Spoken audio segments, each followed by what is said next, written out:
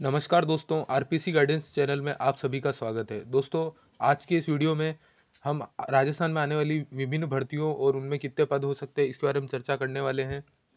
बिना किसी देरी के वीडियो को शुरू करते हैं। दोस्तों, सबसे पहली भर्ती हमारी होने वाली है अध्यापक तृतीय श्रेणी, जिसके इकतीस हज़ार पदों पर कभी भी नोटिफिकेशन जारी हो सकता है। दूसरी भर्ती हमारी बेसिक कंप्यूटर अनुदेशक जिसके लगभग दस हज़ार पदों पर भर्ती हो सकती है। तीसरी भर्ती हमारी वरिष्ठ कंप्यूटर अनुदेशक, जिसके दो सौ पदों पर भर्ती हो सकती है। इसके बाद व्याख्याता स्कूल लेक्चरर, जिसके छः हज़ार पदों पर द्वितीय श्रेणी अध्यापक, जिसके लगभग दस हज़ार पदों पर भर्ती हो सकती है। इसके अलावा दोस्तों स्पेशल बी एस टी का रखे अभ्यर्थियों के लिए अध्यापक विशेष शिक्षा के हज़ार पदों पर भर्ती हो सकती है। पुस्तकालय ग्रेड द्वितीय के 460 पदों पर, शारीरिक शिक्षक ग्रेड द्वितीय के चार सौ इकसठ पदों पर, शारीरिक शिक्षक ग्रेड तृतीय के चार सौ इकसठ पदों पर और प्रयोगशाला सहायक यानी कि लेब असिस्टेंट उसके चार सौ इकसठ पदों पर भर्ती हो सकती है।